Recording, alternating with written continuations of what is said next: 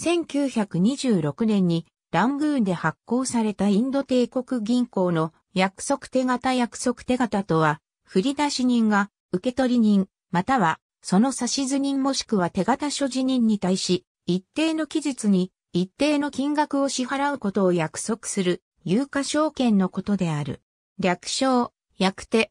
為替手形と共有の手形一般の内容については、手形の項目を参照のこと。ここでは、約束手形特有の内容についてのみ記述する。手形にはもう一種類、為替手形もあるが、2.3ヶ月程度の中期、信用を担う手段として広く利用されていることもあって、日本国内で流通する手形のほぼすべてが約束手形である。このため、一般に手形という場合、約束手形を意味すると見て差し支えない。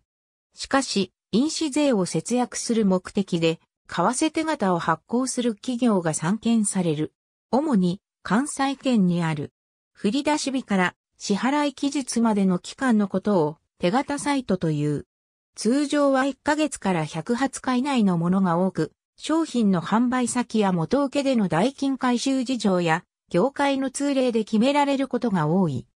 なお、下請け代金支払い遅延等防止法では、割引困難な手形を振り出すのを禁じており、手形サイトの基準は120日以内となっている。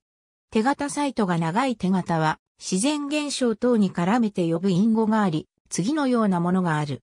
偽造された約束手形が金融業者などに持ち込まれるケースが2008年から相次いでおり、被害に遭った企業が警察に刑事告発するなどの事態になっている。ありがとうございます。